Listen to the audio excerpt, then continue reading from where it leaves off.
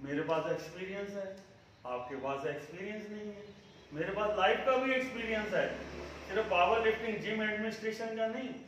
जब आप लोग पैदा नहीं हुए थे, तब मैं और बड़े गुरुजी एशियन गेम्स में वेट लिफ्टिंग में इंचार्ज थे। जो नाइन्थ एशियन गेम्स हुए थे न्यू दिल्ली में, तब आप पैदा भी नहीं हुए थे।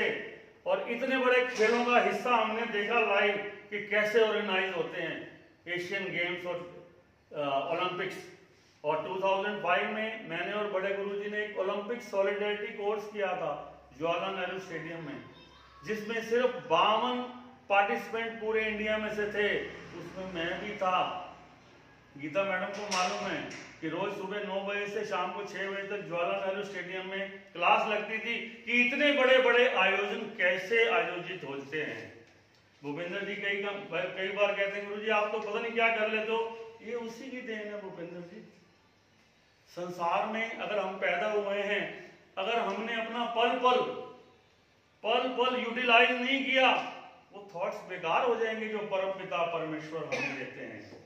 ऑल इंडिया डेडलिफ्ट चैंपियनशिप में गोल्ड मेडल जीतकर इन्होंने जिम का, हरियाणा का और पूरे भारत का नाम रोशन किया है।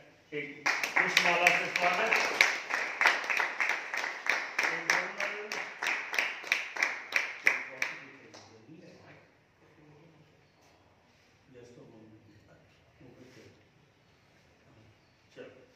बहुत बहुत स्वागत। Thank you thank you